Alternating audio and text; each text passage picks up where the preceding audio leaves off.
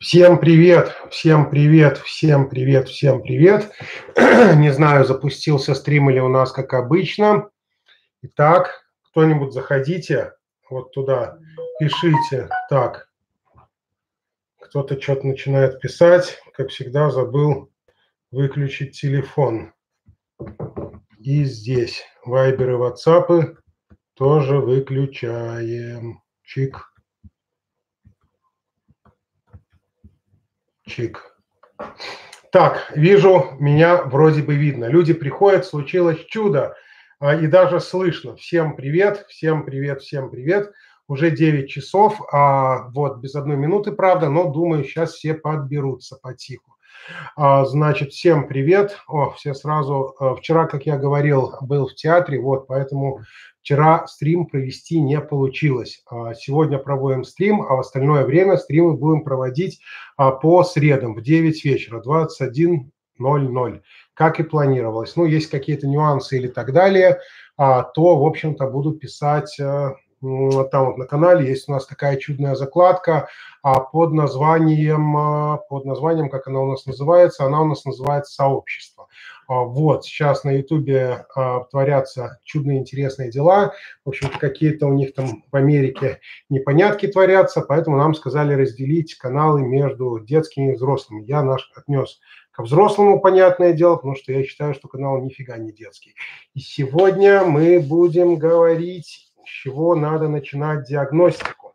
Вот, понятное дело, а, значит, мы будем говорить, если быть более точным и более правильным, о здоровом питании. Нет, не о том, чем мы питаемся на кухне, а о питаниях блоков. Вот, э, а, будем рассказывать про эту тему. С чего начинать? А, сначала сделаю несколько поправок. А, почему я решил начать все-таки с этой темы, со здорового питания? Вот, по причине того, что зачастую, получается, люди Привет, Заур тоже. А вот, значит, и Александр тоже привет. Всем привет, с кем еще не поздоровался. Мистер Технологист, Вадим, Юра, Магди, ТНВ привет, Вадим, Алена, Вадим, мистер... Вот, ну, короче, всем привет, с кем еще не поздоровался, и кто новый придет, тоже всем привет. А, вот, почему я решил затронуть сегодня эту тему. А, в общем-то, да, кстати, по стримам у нас это еще не так часто происходит. Вот там вот слева, наверное, я туда показываю пальцем. А, вот, привет, Денис. А, значит, пишите, если какие-то возникают вопросы, а, буду стараться сразу на них отвечать в том, что делаю стрим. А те, кто будет смотреть записи, внизу под видосиком это делайте. И чтобы следующие стримы не пропускать, не забывайте нажать на колокольчик. Тогда будете получать извещения о них своевременно. Также не забывайте подписываться на наш канал. Нет, я не прощаюсь, я просто веду стрим, рассказываю, что будем делать. Итак, а почему я решил все-таки поднять эту тему. А, привет, Рахмон. А, вот, потому что зачастую бывают ситуации, а, люди говорят, вот, типа, надо отрубить иммобилайзер, присылают блок, смотришь блок, ну, вроде с ним все классно, все нормально, ну, отрубаешь, люди же попросили, по факту, оказывается, машина все равно не заводится. Начинаешь смотреть, в чем дело, а на мозги не приходит питание. Собственно, такая же картина происходит а, также, когда а, в общем-то, присылают блок в ремонт. На столе его включаешь, все классно работает. Человеку звонит, ну, пишешь там, не знаю, сообщаешь, говоришь, у вас блок нормально рабочий, в чем дело, зачем вы его ремонтировать прислали? Он говорит, так он на связь нифига не выходит. Привет, Алексей. А вот, поэтому я решил, что он неисправен. В первую очередь надо заниматься проверкой питания. Итак, приходит ли у нас питание? На блог. А, значит, расскажу несколько моментов. Я думаю, тем, кто давно а, в этом бизнесе крутится в автоэлектрике, может быть, тема будет неинтересна, но, надеюсь, хоть какие-то полезные моменты, может быть, и вы в этом почерпаете. Ну, а также, надеюсь, это будет, в общем-то, интересно всем остальным. Итак, Значит, начнем. Что у нас, по сути, из себя представляет схема? Да, есть тоже какие-то нюансы. А, сразу говорите, кстати, прикол, вот на этой доске, оказывается, я в прошлый раз на целлофане рисовал, тут еще слой целлофана был нарисован. Надеюсь, всем отлично видно. Вот, что у нас, по сути, из себя представляет схема. Я тут буду рисовать немножко, а вы там тоже задавайте вопросы.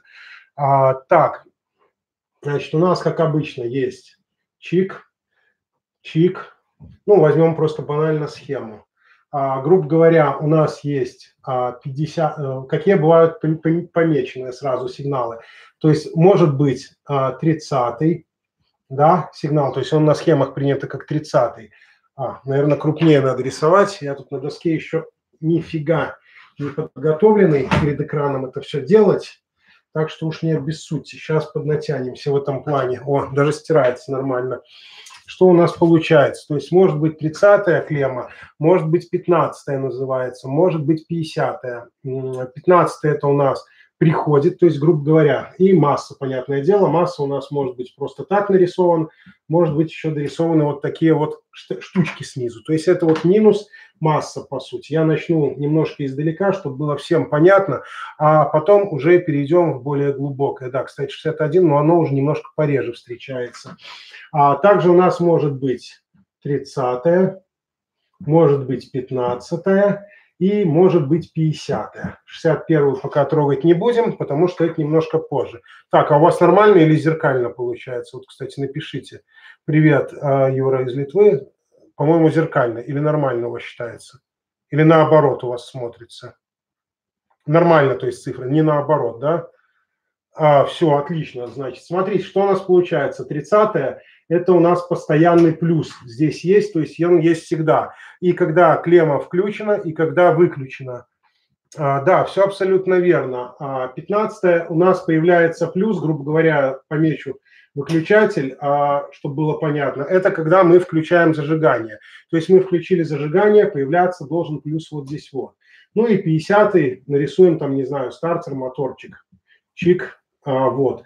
50 это у нас, когда а, появляется здесь плюс, когда мы поворачиваем замок на 50 а, вот, то у нас получается, появляется здесь плюс. Это я немножко издалека зашел, чтобы было больше понятно всем. Вот, также сделаю сразу поправку, чтобы было понятно. У нас есть такая вещь, как предохранитель. Нарисуем такой, рисовать я, честно сказать, особо не умею. Такая штучка вот. Вот, внешне, ну что-то вроде этого. А, значит, э, расскажу, теперь вернусь немножко сам в экран. Значит, самая частая проблема. А, вот начнем, наверное, с предохранителей, как с довольно важного элемента в схеме питания. А, что у нас происходит с предохранителем? Когда человеку говоришь, допустим, ну вот у нас, например, на какой-то блок не приходит питание, ему говоришь, было бы хорошо, чтобы ты прозвонил предохранители. Что делает человек? Он начинает их прозванивать, правильно? Как он их начинает прозванивать? Это самая частая, в общем-то, ошибка является, ну, большинства начинающих автоэлектриков. Предохранитель у нас стоит в машине, так? Ну, давайте просто тогда вернемся, зарисую банальную какую-нибудь схемку. То есть вот у нас есть аккумулятор, например, а, плюс-минус, от него у нас пошло сюда. Здесь у нас стоит предохранитель, вот этот чудный, да, здесь у нас, допустим, есть лампочка в цепи этого предохранителя. И от этой лампочки у нас возвращается обратно провод сюда, к минусу, так? Ну, нарисую здесь у нас минус, чтобы было понятно, здесь у нас плюс сверху. Что у нас получается? Человеку говоришь, прозвони предохранитель. Ну, допустим, лампочка не светится, правильно? Известно, что аккумулятор у нас заряжен, батарейка. Человек меряет сначала тестером здесь. На аккумуляторе говорит, все в порядке. Ему говоришь, прозвони предохранитель, целый он или нет. Да? Что делает человек в первую очередь? Он, не вынимая предохранитель, не вынимая предохранитель, начинает его звонить прямо в схеме в самой, здесь вот. А, о чем это говорит? А, если он звонит его в этой схеме, он всегда будет целый. Почему? Потому что у нас получается, меряется цепочка вот это вот. Вот эта вот цепочка у нас меряется. То есть даже если он предохранитель дохлый, а, меряем здесь тестером если вот особенно с этой пищалкой, а не на сопротивление, сопротивление, понятное дело, у нас будет вот здесь вот теряться и длина проводов и так далее, и на аккумулятор будет ругаться. А если меряем обычной пищалкой, то, что замыкаем, оно там звук издает, там или что-то такое, то у нас даже при дохлом этом предохранителе, получается, будет звониться вот эта цепочка, и оно будет писать, что схема в порядке. А, вот, поэтому бывает зачастую, что человек вот здесь вот меряет напряжение, да, ну, на аккумуляторе оно есть, в порядке, все как положено. Меряет на лампочке, его здесь нету. Но предохранитель, он говорит, целый, в порядке. Э, потому что он прозвонил на самом деле не предохранитель, не вынув его со схемы, а прозвонил вот эту всю цепочку. И поэтому он уверен, что это предохранитель цел, и в этом же убеждает меня. А что у нас остается? Предохранитель целый, лампочка целая, проверена отдельно на аккумуляторе, а аккумулятор сам цел. Значит, остается проблема в проводке. Человек, получается, по сути, начинает лезть и вызванивать, где же у него обрыв. А обрыв на самом деле вот здесь, в предохранителе, который он на самом деле неверно померил. Отсюда сделаем просто банальный до ужаса вывод. А, значит, предохранители все всегда необходимо проверять, вынимая обязательно, вынув его со схемы. Не на схеме, когда он стоит, а именно сняв его и позвонив. Потому что бывает, расскажу тоже довольно интересную, забавную историю. А, попадался мне как-то один мерседесик был. А, Все, магнитола работает, классно работает. Потом хлобысь ни с того ни с сего пропадает. А, извините, я не совсем сразу здороваюсь, вот, потому что рассказываю небольшую историю. Значит, смотрите, какая картина какая. Магнитола работает, потом хлоп перестала работать. Меряешь на ней напряжение вот, кстати, к этому моменту мы тоже вернемся. Напряжение тестером есть, все классно. Подключаешь магнитолу, она облом не работает. Что получилось на самом деле? А предохранитель э, на, в этом Мерседесе нам эту магнитолу, такое может быть не только из-за того, что стоял в багажнике, а это говорило о чем? Там попадала какая-то влага определенная, и получается, визуально на него смотришь, он вообще огонь ну, классно, целый смотрится. А когда тестером начинаешь звонить, там микро-микро трещинка такая была, а, в общем-то, пищалкой, оно тоже нормально показывало, а, вот, а по сути, дохленький был предохранитель. Опять же, теперь вернемся немножко к предохранителям. А, как надо дальше мерить? Ну, допустим, проверили предохранитель, Бывают иногда такие нюансы, что вынуть а, предохранитель со схемы имеется какая-то, ну, некоторая проблема. Всякое бывает. А, допустим, а, так, ладно, я сотру то, что он у нас был тут перечеркнутый. Представим, что он у нас живой. Вот, так, вот он у нас такой стоит красавец, тут предохранитель. А, вот, F помечу на нем, чтобы было понятно. F, о, вот так, крупно, если далеко видно. А, значит, смотрите, какая картина. Обычно в предохранителях у нас здесь есть два таких окошка. Ну, отверстия зачастую бывает. Это, конечно, бывает не всегда, особенно в последнее время в некоторых китайских этого чуда нету. А, бывают также предохранители, которые закрыты крышечкой, туда не добраться. Ну, возьмем банальный вопрос с старыми классическими. Тут как бы окошки есть, где оголены немножко контакты.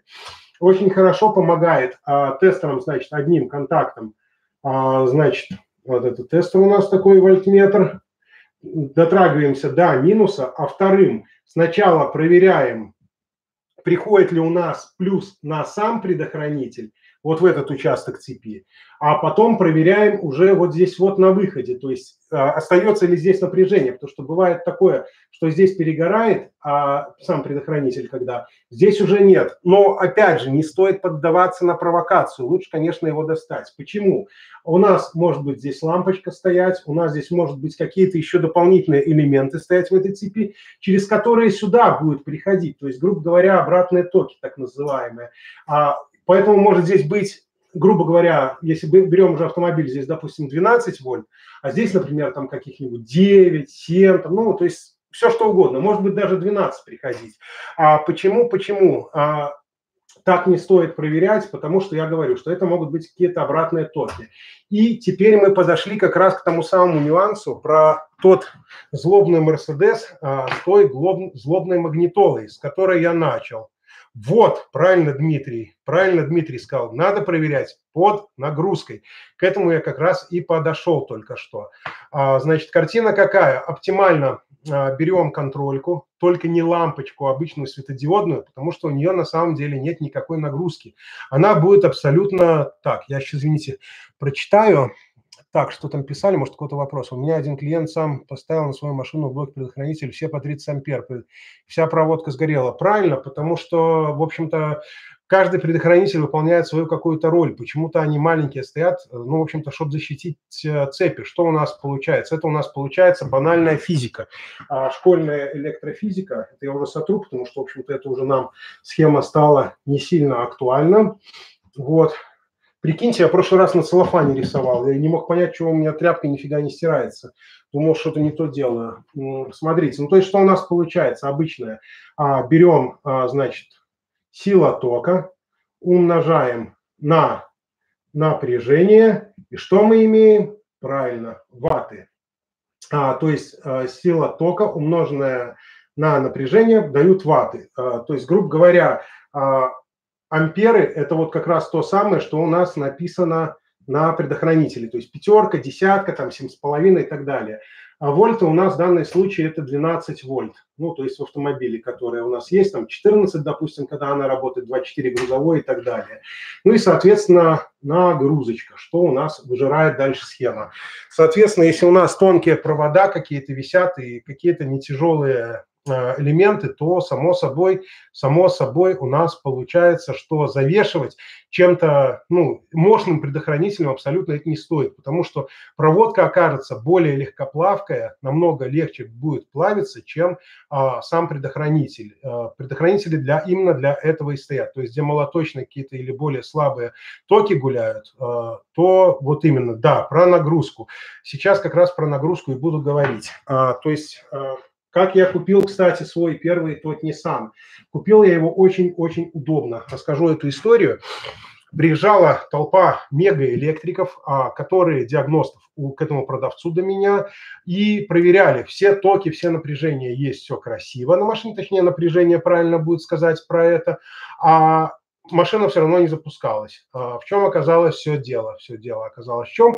У нас, получается, сам провод шел, изолента снаружи целая, внутрь провода, так это был все-таки внедорожник, его в говны всякие загоняли, а, внутри самого провода, а, вот именно сам, сама, вот где проводка идет, она перегнила.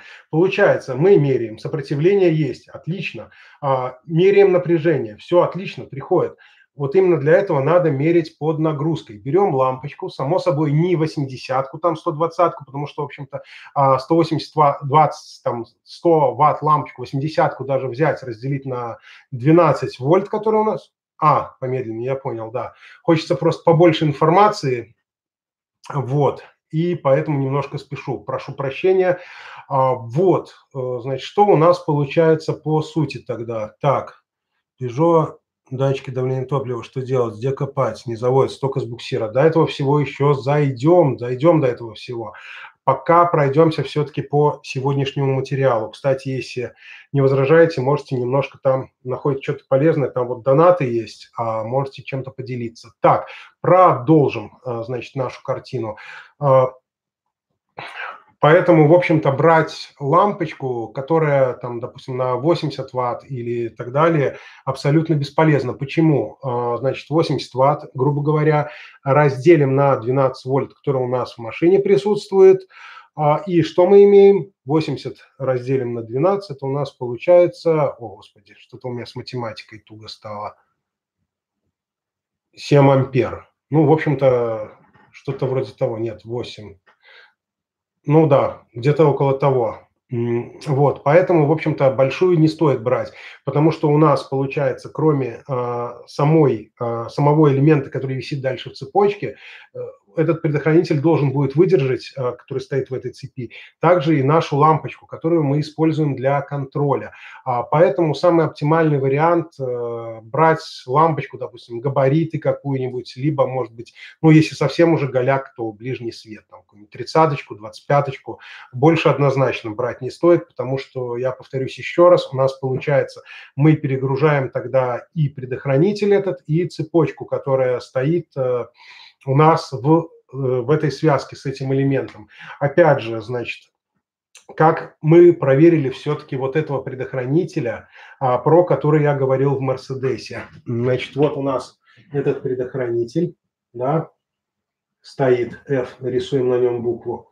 А, вот это окошко и вот это окошко. В общем-то, вот наш батарейка, плюс-минус она, грубо на него приходила в цепочку и минус. То есть мы брали тестер сюда, ну, лампочку, точнее говоря, контрольку, и сначала дотронулись сюда, она светилась нормально. А потом дотронулись вот сюда, до второго контакта, и она у нас погасла. Хотя в то же время этот предохранитель у нас тестером звонился, как будто бы он целый. А вот именно через лампочку он работать вот так вот отказался. А, точно такая же картина была у меня, когда и проверял а, вот эту проводку на первой машинке. В общем-то, взял лампочку эту чудную, смотрел, значит, через лампочку уже а, смотрел, а, какие у нас приходят именно сюда, под нагрузочкой. Опять же, немаловажно, а, значит, смотрите, расскажу интересный момент. Значит, получается картина какая?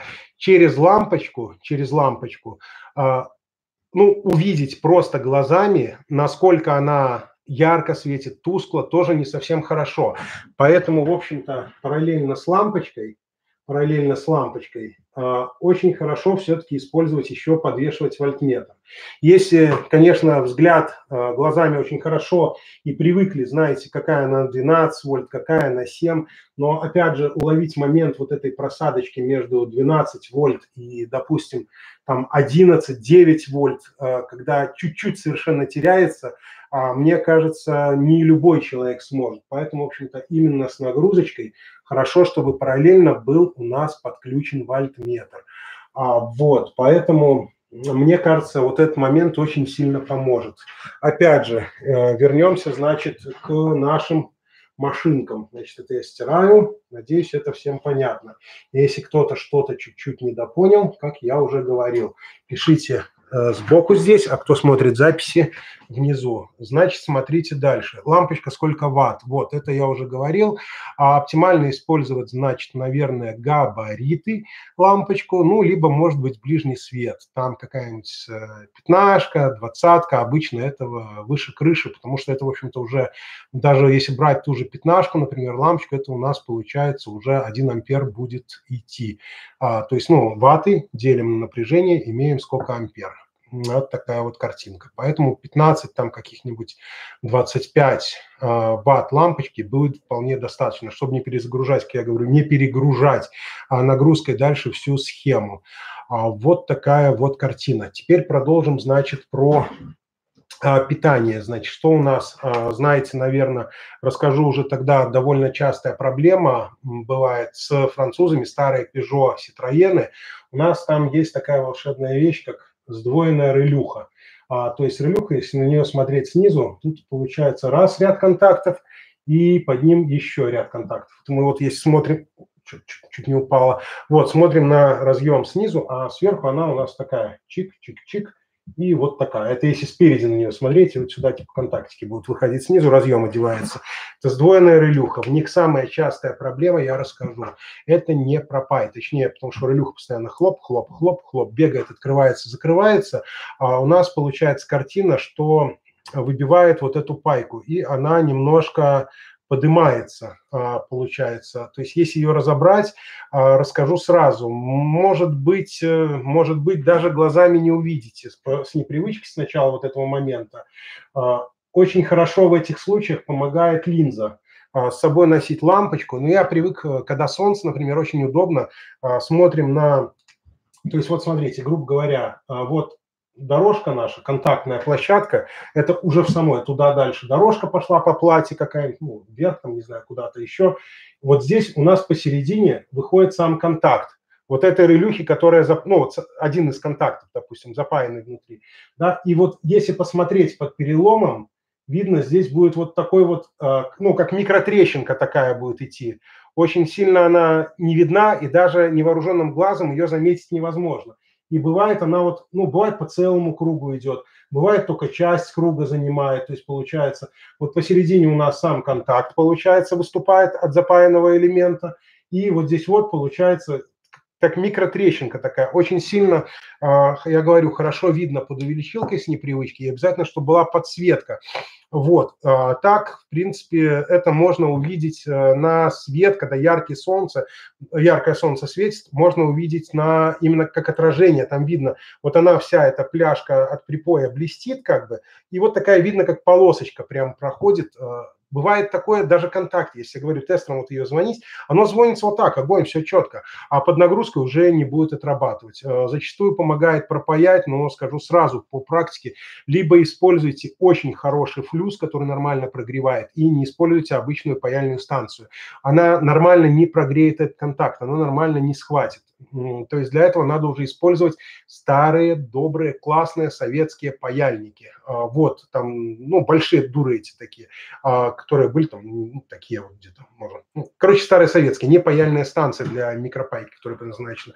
И вот этот момент зачастую бывает такое, что значит, 105 реле в этих э, в Volkswagen, там, в Audi, которые стоят, а, тоже бывает. А, кстати, было на канале недавно у нас, как недавно, наверное, где-то с полгода видос а, про то, как я очень долго упорно мучился с а, этим самым, с аудюхой. 2,5 мотор был, у которой, и не мог понять, на столе мозги себя ведут адекватно, вот так вот классно, а начинаешь ставить на машину, и все, Алис – то есть все, мозги пропадают, со связи вылетают, связи нету, непонятно что. То есть связь, то нет связи. Оказалось, а, значит, смотрите, снял тоже блок управления, когда разобрал.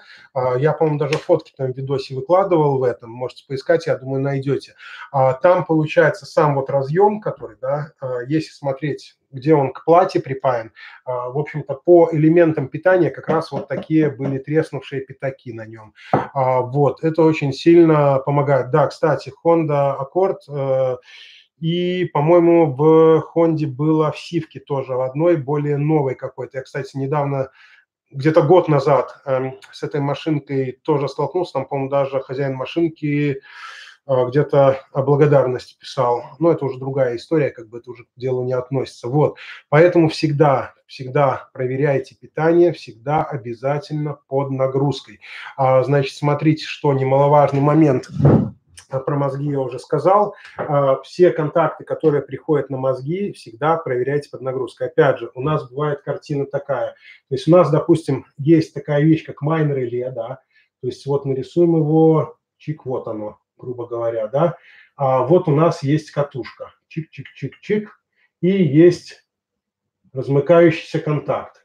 Так, отсюда у нас пошло сюда, сюда. То есть здесь у нас, грубо говоря, пошло на плюс, который постоянный плюс, так.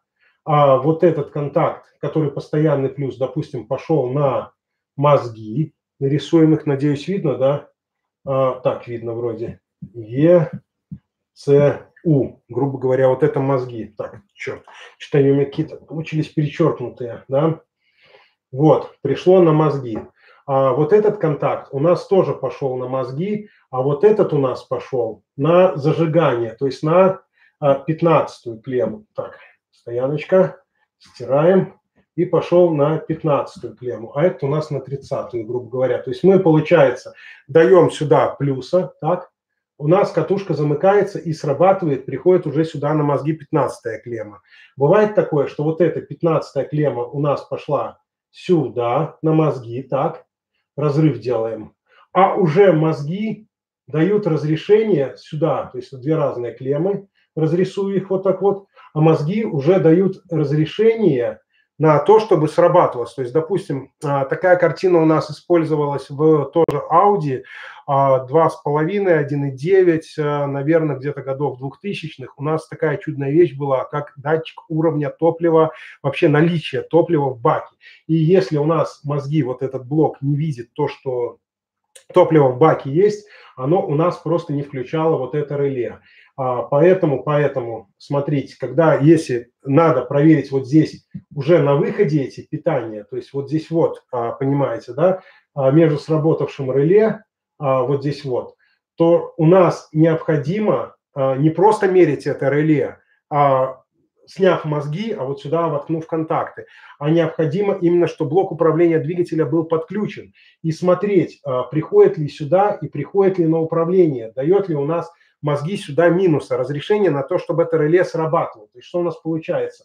Мы включаем сюда зажигание, у нас приходит, то есть у нас есть на мозгах плюс, на мозгах есть минус, мы даем сюда дополнительный плюс, мозги видят, что иммобилайзер говорит, все четко, разрешаю, а, значит, мозги дают сюда на катушку минуса, и тогда у нас включается это реле, которое может также управлять и на свечи накала, и на ну, если это дизель, допустим, на насос подкачки и так далее. То есть, допустим, грубо говоря, пока мы не крутим а, стартер, там, допустим, да, то вот датчик коленвала, например, будет, да, пока мозги не видят, что у нас крутится мотор, у нас вот тоже такое реле, только здесь будет у нас стоять, допустим, насос подкачки, да, у нас мозги не дадут этому насосу подкачки э, давать топливо, пока не увидят, что крутится датчик коленвала. А, вот, значит, поэтому, в общем-то, это немаловажный фактор. В общем-то, если, если, повторюсь еще раз, надо проверить какой-то майн-реле, а, и проверить, что с ним творится, а, дает ли оно питание дальше на блок управления двигателя, то обязательно, обязательно а, мозги должны быть блок управления подключен. Либо если... Оп, прикольно, получил доской по голове. Вот, если блок управления у нас не подключен в это время, а, то тогда на управляющий минус, который мозги должны давать, надо дать своего минуса. А, вот, а, значит, запомните, главный пункт, а, в общем-то, кстати, проца, там у нас вообще на проце обычно 5 вольт идет. А, понятное дело, под нагрузкой, да, проверять нельзя. Ну, а кто что туда лампочки-то сунется 12 вольтовой, это уже отдельная тема. Мы пока говорим снаружи, перед тем, как лезть в мозги. Поэтому, в общем-то, запомните, один из самых главных пунктов – это проверять именно под нагрузкой, под нагрузкой. Все напряжения всегда проверяем под нагрузкой. Все, а, значит, э, предохранители, чтобы проверять правильно, вынимаем, вынимаем и проверяем, когда они вынуты. Не на схеме, как я говорил, помните, да, в начале, то, что будет звониться сама схема, проверять, что вот она целая у нас, что дело у нас схема. А мы проверим именно связку по цепи схемы, а не по самому предохранителю. Вот, а, пока задавайте еще какие-то вопросы, я прочитаю, что уже там спрашивали. А, да, Денис, 5 ватт лампочка тоже неплохо, тоже, кстати, неплохо мерит нагрузку. Ну, 40-60 ватт, наверное, все-таки многовато, потому что, а, в общем-то, я же говорю, что тогда получается у нас на сам предохранитель и дальше на всю схему, на саму цепочку у нас будет идти немножко больше нагрузки, чем положено, в общем-то. И в лучшем случае у нас не выдержит предохранитель, а в худшем у нас тупо сдохнет просто, может воспламениться сама схема, если предохранитель говно китайский или там бывший э, кто лазил, поставил, в общем-то, неправильный предохранитель больше, чем надо. Так, э, мастерская Вольтавт тоже привет, не поздоровался сразу. Так, про ЦА, да, по нагрузочке не проверяем. Денис правильно сказал. Так, помоги, пожалуйста, по Peugeot. Вы по теме вопросы задавайте там, а я пока прочитаю, что там еще, не знаю, что делать. Peugeot ошибка P001. Сколько вольт должно приходить на датчик давления топлива? А, так, эм, все зависит от того, какая машинка, потому что если питание у нас идет с мозгов, то у нас опорное напряжение там зачастую 5 вольт. Если у нас э, питание идет э, сверху, а, Павел, привет, э, Новгород, Новгороду. Так, мистер Оскар, а, тоже привет. А, вот, поэтому, в общем-то, смотрим. Если питание идет с мозгов, то зачастую у нас а, будет 5 вольт опорное напряжение. Если у нас питание идет а, сверху, а мозги, допустим, а, принимают уже сигнал, что у нас, или управляющие дают минус, то, соответственно, ну, 12 вольт, но это уже, опять же, надо смотреть всю схему и все индивидуально.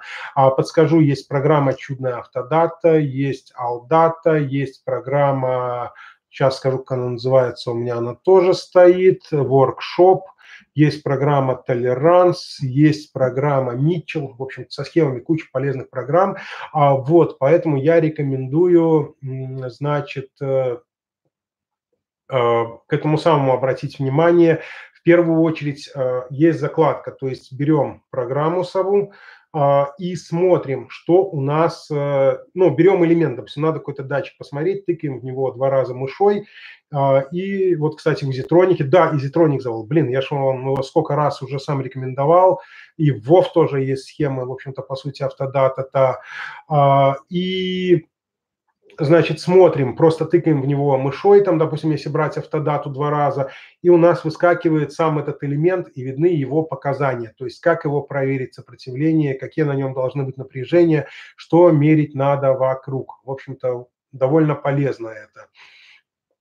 А, в воркшопе, ну да, в воркшопе схем не очень много, если честно. Ну, как бы все равно есть некоторое количество, И бывает иногда, вот у меня, кажется, стоит э, толеранс, э, сейчас скажу, какого он года, а, подождите, подождите. А, а, вот еще ЕВД Volvo у меня стоит, э, а вот еще, так, он у меня 2009 года, кажется, программа довольно старая на самом деле, да, а, но бывают иногда, привет, Саня тоже, вот, но иногда бывают и полезные нюансы, иногда бывает нигде вообще, да, 2009 год, все верно, а бывает, но бывают какие-то схемы, можно и там найти. Не, не согласен. Иногда, иногда очень сильно помогает. Были машинки, которыми толеранс мне очень сильно помогал.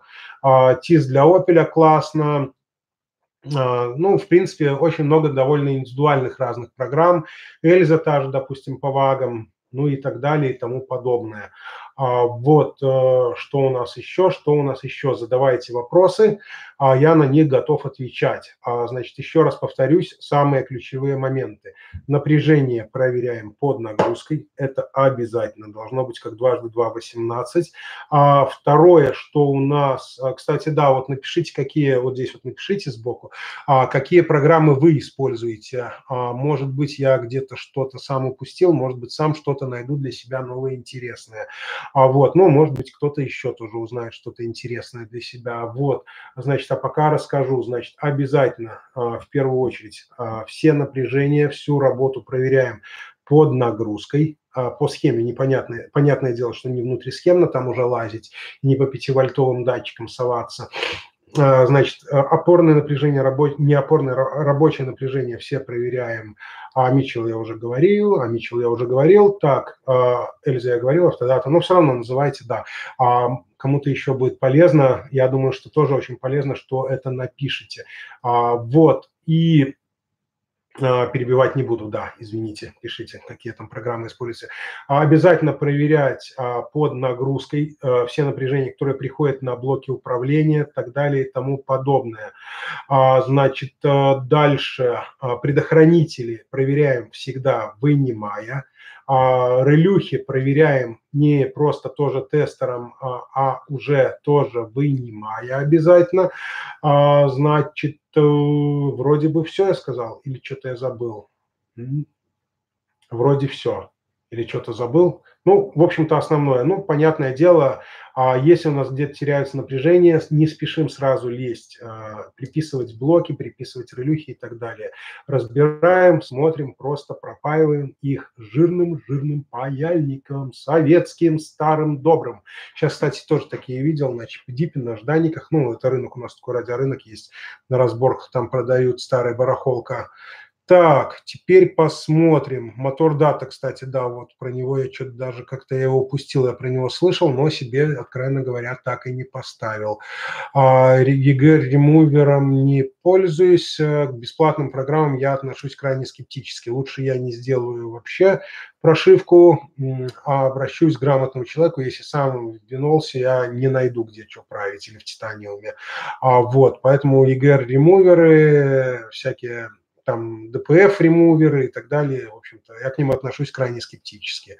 27, 512, 28 и 29 серию читаю через Virgin, а 27 у меня старый добрый программатор. Э, в общем-то, 27 откровенно говоря, мне вообще забыл, когда попадались в прошлый раз. Это все было давно и, можно сказать, неправда. А вот, э, использую вместо них 28-ки, 29-ки, а просто диповские уже они с МДшки, если это необходимо пропаять. А вообще лежит старый добрый программатор, а лежит старая добрая ультрафиолетовая лампочка, хотя не доставал давно. А Евгения Иеремия э, честно сказать, не смотрю. Про него я услышал а, буквально недавно в нашем чате. Кстати, у нас вот там чат есть а, в Телеграме. Заходите, подписывайтесь. А, думаю, многим там будет интересно. Найдете общий язык. Если возникают какие-то вопросы, люди обычно подписываются, помогают.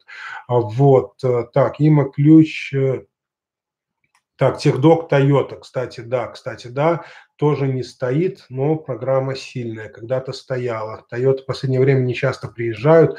Кстати, техдок Toyota мне в свое время очень сильно помогла. А, было на машинке одной Toyota D4D этот мотор. Там, кстати, тоже вам расскажу, может быть, кому-то пригодится. Значит, перекидывали человеку мотор на одно СТО, и потом получилась картина. Значит, машина едет, не разгоняется вообще, нифига не тянет. Как только руля немножко крутанешь в бок, она жу, таким ускорением, и потом все. Перебирали мотор ему, там приписали все, что только может быть. А вот техдок по Тойоте очень сильно помог в этом. А по нему было установлено, что перепутали две фишки. А, значит, там одна стоит на усилителе руля, а одна стоит на поддув этот, а, который идет турбины. И, в общем-то, эти две фишки перепутали. Вот такая вот была картина. И эта программа помогла. Привет, Ваня. Молдове тоже. Так, Алексей Александр, тоже привет. А, Расти Моторс, привет. Кстати, интересный канал, тоже хоть и молодой. А, так, а, так что вот я думаю, может быть, кому-то пригодится. Кстати, была похожая в спринтере контора э, ситуация.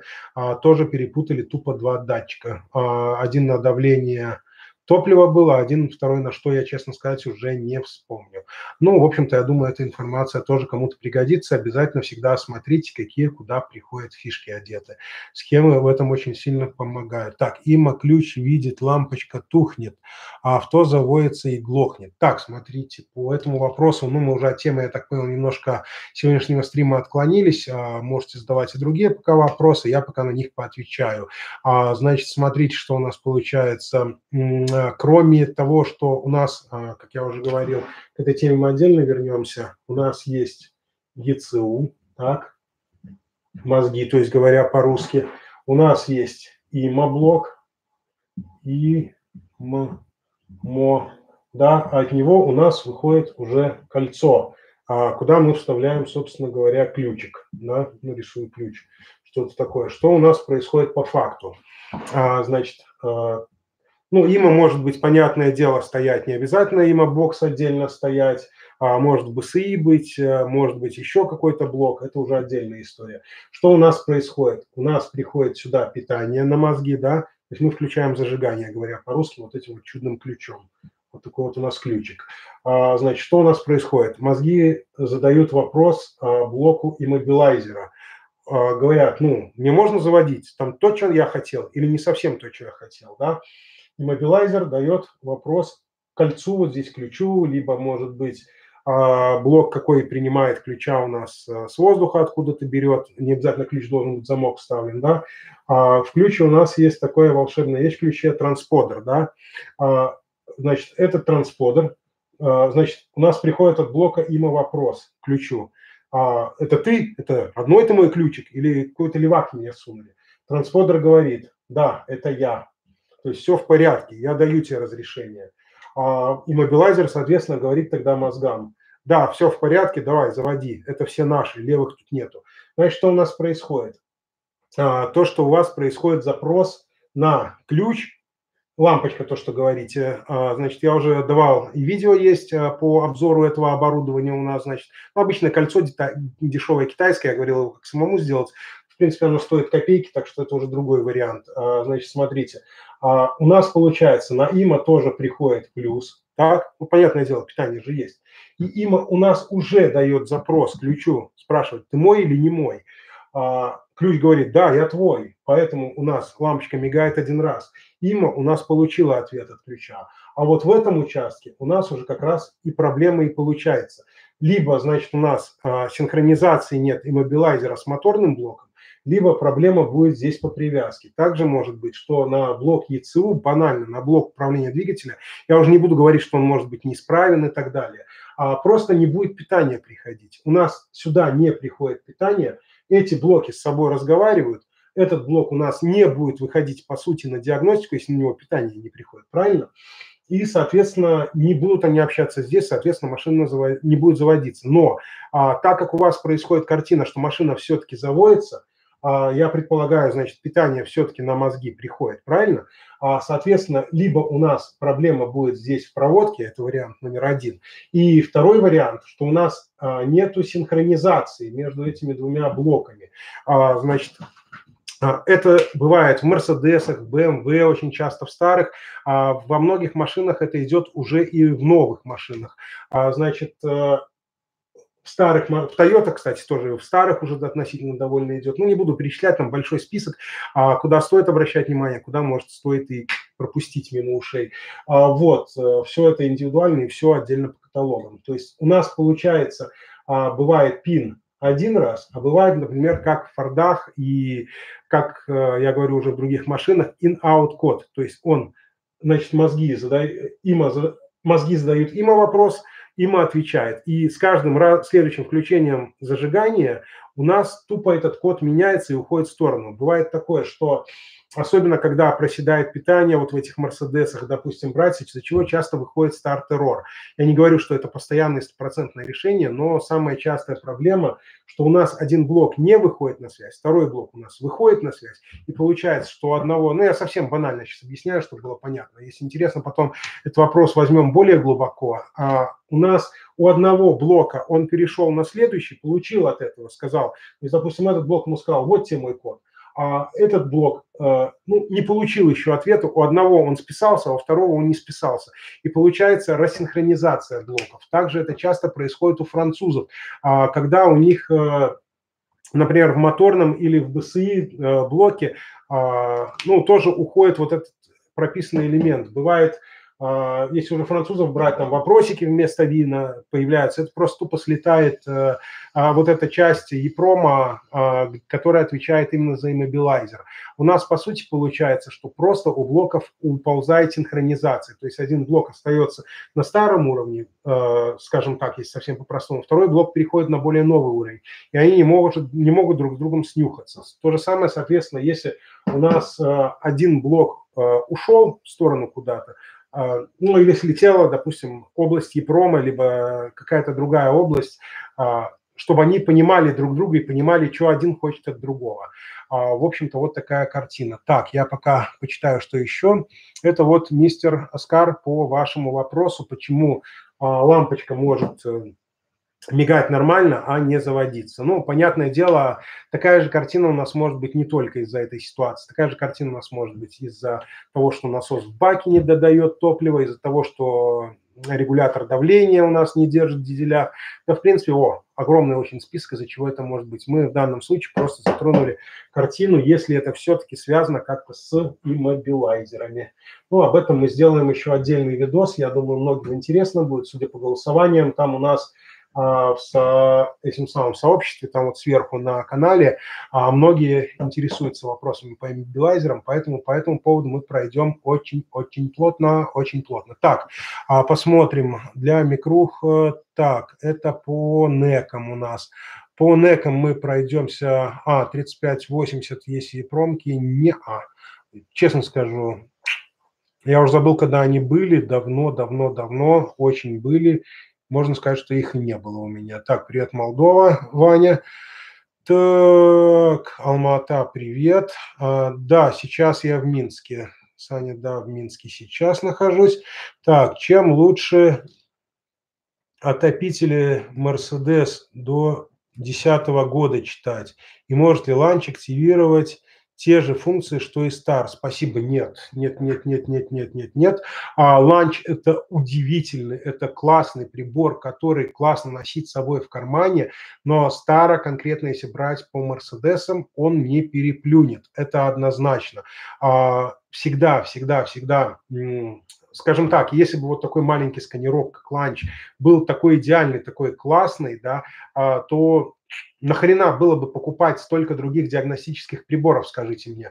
Это было бы абсолютно бесполезно. В общем-то, поэтому я э, говорил и буду говорить. Для общей диагностики э, мультитетрисы всякие подходят вполне хорошо, но для индивидуальной, конкретно, если надо что-то делать серьезное, мультитетрисы не вариант, не вариант, не вариант. А, допустим, была недавно Honda, ланч э, с Хондами дружит вообще классно, то есть оживляет, допустим, слетевшую вот эту синхронизацию, про которую я только что рассказывал, просто на ура. А, допустим, брать там 2005, 2003, 2000 года Honda, просто на ура синхру восстанавливает. Но если брать, допустим, а, была Honda одна тоже седьмого года Jazz, обломился, обломился он, а, помогла X100. А, помог ХДС, тоже мог это делать, а, но ланч сказал великий облом. Поэтому, в общем-то, я считаю, что для каких-то индивидуальных вещей, допустим, опять же, э, Citroёn и Peugeot, восстанавливать синхру, прописывать блоки, а, ключи прописывать. Э, я сторонник использовать исключительно лексию. лексию. Для Мерседеса, если надо сделать тоже синхру, только старуха. Рено, если что-то серьезное, только клип. А, ну, собственно, вот такая вот картина. А, поэтому, допустим, если надо прошить коробку в том же баге, я не полезу туда ничем другим, а полезу исключительно вас 50-54. А, поэтому, ну, есть какие-то, скажем так, моменты, которые можно делать универсально, но лучше делать тем, что для этого предназначено. Поэтому, в общем-то, как сказали в свое время, фраза была, не буду говорить а, про какого оператора, до хрена всего, а не хрена толком. Вот так. Поэтому, в общем-то, то же самое касается и э, универсальных сканеров. А, сканер должен быть для конкретной работы, он должен быть индивидуальным. А для общей диагностики, конечно, да, подойдет что-то универсальное. А вот так, про коншину можно сказать. Да, расскажу про коншину, у нас есть отдельная тема. А буду показывать также, что как пользоваться канализатором. Ну, по коншине пройдемся очень плотно.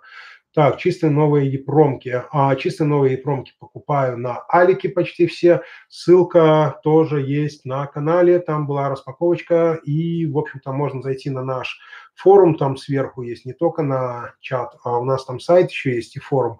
Заходите, там, в общем-то, есть ссылки. Да, они, в принципе, практически под каждым видосом я их выкладываю, со временем появляются на проверенных китаёс, а, китайцев в смысле, я имел в виду, никого не будем оскорблять. А, поэтому, а, в общем-то, там и беру сам. Я показывал уже распечаточки, проверяли микросхемки. А, вот там, собственно, беру и также трансподеров большинство. А, вот 4C э, там не беру, по 4C у меня свой канал, потому что они даже там слишком дорого рубят. Так, что у нас еще? С Аркана еще не сталкивался. Интересно, что за жизнь м-м, не сталкивался, врать не буду. Шесть лет назад русский авто по пальцам там пересчитал а все ездят на иномарках, в основном это дизель. А нет, сейчас, скажу откровенно, все поменялось в Беларуси очень конкретно. А у нас очень много газелей сейчас, очень много лады. По ладе вообще очень сильно благодарен, что ее много начали привозить. А, вас, а, особенно этот а, Веста, это вообще подарок. Гранты, это вообще подарок по слетающим мобилайзерам. Это, ну, спасибо производителям, спасибо, что вы пошли по следам французов, вы даете нам работу. Не буду говорить ни про кого плохо, но догадаться поставить а, блок управления под, э, радиа, под радиатором салона, это, ну, надо быть богом творения автомобилизма, а заодно поставить блок BSI и мобилайзер прямо, в общем-то, который находится а, под а, панелью, куда люди обычно телефон кладут, который звонит. Спасибо вам, производители «Жигулей», спасибо. Вот, за работу. Так, а, по газонам, по УАЗикам самая частая проблема, к сожалению, только диагностика по выездам.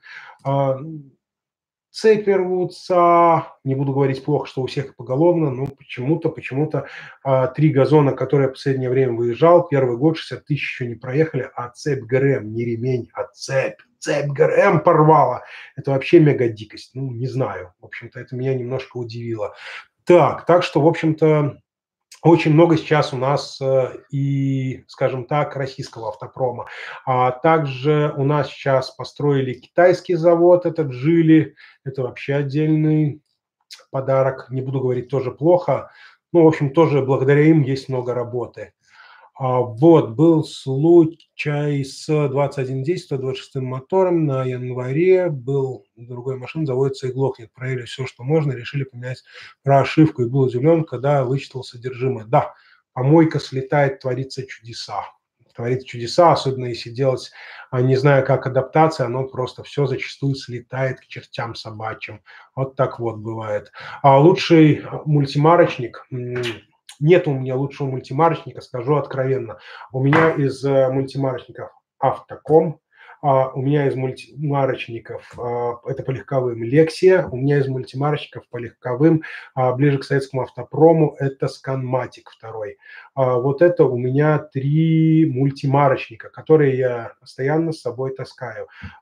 Также может быть, э, также может быть, также может быть, да, наверное, и все. Мультимарочники. Ну, по грузовым у меня еще Nexik однозначно тоже должен быть с собой, потому что, в общем-то, по грузовым он творит чудеса. Вот, по грузовым также автодата помогает. А, автоком, автоком, извините, неверно сказал. Delphi, она же, она же WoW. А, заметил, кстати, Вов иногда не совсем ровно читает. Допустим, если брать а, маны, то Вов читает хуже, чем Delphi, но Delphi читает лучше, чем Автодата, Автоком. А вот, ну, с Вовом, опять же, там есть нюанс по манам. Если, допустим, у нас автобус, то надо его читать как обычную грузовую. Вот такая вот картина. Как грузовая, даже тот блок выбираешь, она тебя посылает. Вот такая картина. Это вот по мультимарочникам. Дальше продолжим. Привет, пол 17 года, чем привязать панель. А поэтому мы будем говорить отдельно по этим машинкам. По полам вообще творятся чудеса, особенно российской сборки. Ай-яй-яй, вообще чудеса, чудеса. Так, дальше не подскажете, хотим ставить Starline A91 я скажу откровенно, по сигналкам я нифига не консультант, поэтому по сигналкам меня, наверное, даже я бы не советовал спрашивать.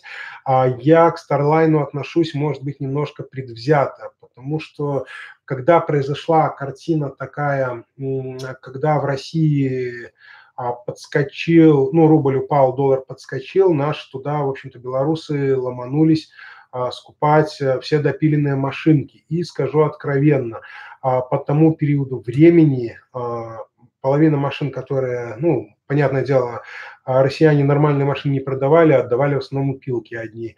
А вот, э, которые притаскивали, если машина не заводилась, то в первую очередь э, смотрел, стоит ли Starline. Если Starline стояла, его просто машина в 90% случаев заводилась и уезжала. Поэтому к Starline, может быть, это совпадение, может быть, что-то еще, но я к Starline отношусь крайне предвзято. Поэтому мое мнение наверное, не слушайте по сигнализациям. Я вас э, в верном направлении не уверен, что отправлю. А, поэтому запись эфира, думаю, да, сохранится по Пола будет отдельный видос. А, я думаю, будет отдельный видос. А, мы пройдемся по багам, а, потому что есть э, куча нюансов касаемо значит, Volkswagen, Audi, Skoda, Seat, вот, которые идут на криптах. Ну, это уже отдельная история, об этом мы поговорим отдельно. Вот, э, как с щитной промо в редакторе Hex распознать Тима? М-м, мудреный вопрос, мудреный вопрос. Не все так быстро, не все так просто. Если бы все было так просто, это бы делали все подряд бы, отключали мобилайзеры. А не все так просто, не обязательно имя в Епроме и так далее. А, вот э, из сигналок Фараон, ну, также есть сигналка КГБ, тоже упиленная в свое время. Не буду говорить про сигнализации, про сигналки я не специалист, в моем понимании сигналку проще выкинуть, чем чем, чем, чем, в общем-то, убедиться. Хотя вот самая интересная картина а, была недавно гранта, буквально на днях меня позвали, тоже глохло, правда, не из иммобилайзер, ругался на датчик Клинвала, начали смотреть сигналка Starline, я вот тоже предвзято к ней отнесся, начал ковыряться, пытаться ее удалить сразу, оказалось, что она не виновата. Оказалось, дело все в проводочке, а сигналка была совершенно не виновата. А, вот, там даже концы были обрезаны, которые туда шли. В общем-то, поэтому а, то, что я предвзято относился к Старлайну и до сих пор отношусь, сыграло со мной злую шутку. Старлайн был абсолютно ни при чем, и я его абсолютно зазря приговорил в той машине. Вот такая вот картина. А, так, а, так, так, так, так, так. По Старлайну спрашивал человек за чип ключа. Не подскажу, не подскажу. Микроскоп. Микроскоп есть. А сразу скажу, а, долго пользовался, некоторое время, скажем так, пользовался электронным микроскопом. Электронный микроскоп я крайне не советую использовать. А почему? В обычном микроскопе мы видим отлично, а, рука двигается, даже доля секунды, а, там все у нас увеличено, мы в обычном микроскопе это видим. А если микроскоп электронный, даже если он там с э, глазами, на монитор его и так далее, типа большой, типа классно, на самом деле очень маленькая доля секунды, если идет очень серьезная какая-то пайка, ну, пайка, пайка, пайка, пиво, да, я вижу уже шутки пошли а, про пайку и про это самое, про бухло. Вот, ну, паяние, скажем так, вот эта пайка идет у нас. А, очень серьезная, малейшая доля, малейший рывок руки не в ту сторону, особенно если проц паяем, а не промку и что-то серьезное, а, то электронный микроскоп полные дрова, ни в коем случае не рекомендую использовать для этих целей. А то, что, в общем-то, электронный микроскоп, достаточно этой штуки на голову, которую я показывал, и увеличилки, которые эти две вещи использую, они мне выше крыши. Если проц, конечно, надо паять, э, этого зачастую не хватает. Понятное дело, не вчера родился, уже и зрение не лучше, поэтому, в общем-то, да, использую микроскоп. А есть э, советский МБР, а старый классический, единичка есть а сейчас, хотя он и примитивный, там, в общем, МБР-5, МБР-7, старые, добрые эти, в общем-то, они намного лучше, чем э, всякая, скажем так, электронная микроскопщина. Но, опять же, как я уже говорил ранее, есть свои нюансы. А, вот. Не всегда они нужны, и все время работать с микроскопом, опять же, не сильно полезно для здоровья. Так, вот, это по микроскопам. А что его приговаривать то скрутил два провода вместе от насоса релюшку провода кинул и пусть работает Starline дальше. Ну, может быть так, конечно. Главное найти просто, что он блокирует. Самая частая простая а, процедура удаления сигнализации – это, в общем-то, найти, открыть схему сигналки, посмотреть, что она тупо блокирует, и там в том реле, где оно стоит, а, просто перемкнуть два провода, а, которые она размыкает. Понятное дело, главное, чтобы не ревело. А вот, я вижу, немножко вопросы у нас на сегодня заканчиваются. Час стрима уже провели. А, прошу сразу извинения, что сначала немножко говорил быстро. Хотелось побольше информации вам дать а, полезной. Вот, стримы у нас а, будут теперь идти, как я и говорил, по средам. Вчера я просто был в театре. А, вот, поэтому стрима вчера у нас не было. В сообщество заглядывайте у нас на канале. Там я буду писать э, если стримы будут переноситься, либо что-то еще. А также буду благодарен за всякие полезные донаты. Там вот доллар нарисован. А кто не успел, сразу нажать а, копеечку и кинуть в донат. Снизу ссылочка на кошелечек. Тоже можете благодарить. Чем больше увижу благодарности, спасибо, репостов и всего прочего, тем больше, понятное дело, буду видеть, что это интересно, и буду в общем-то, с вами делиться полезностями. А, кстати, вот вопросы, интересно, что вопросы придумать некогда. А, так вот, видео посмотрели, внизу пишите вопросы. А, будут темы как раз для следующих стримов. Я думаю, многим это понравится. А, вот, а, поэтому, поэтому на этом будем, я же говорю, еще раз заканчивать. Подписывайтесь на канал, ставьте лайк, благодарностям, донатам тоже буду благодарен премного. Заходите в Телеграм в нашу группу, а заходите на форум к нам, заходите на сайт. На сайте, может быть, ценного ничего нет, все, видео здесь и так присутствует. Вот. Там на форум может быть только ссылочки полезные, ну и так народ общается тоже не часто, правда. А, нажимаете лайк, внизу я говорю еще раз в комментах, пишите, какие темы хотите видеть на стримах. Если эту запись смотрите, в записи уже тоже задавайте свои какие-то вопросы внизу. А, вот, э, что еще сказать? До скорых встреч. Всем был очень рад, всем был очень рад, а, что посетили меня, писали здесь, а, спрашивали за активность большое. Всем спасибо. Всем до скорых встреч. Пока-пока. О, так, опа.